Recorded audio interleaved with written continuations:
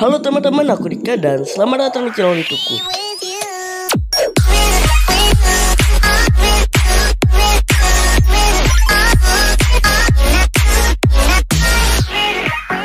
Oke, di videoku kali ini aku akan showcase shaders RTX yang ada di Minecraft Pocket Edition.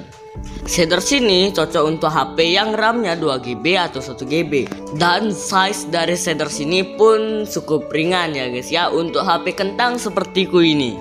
Yang mau download link ada di deskripsi dan kita langsung saja tanpa basa-basi, let's go.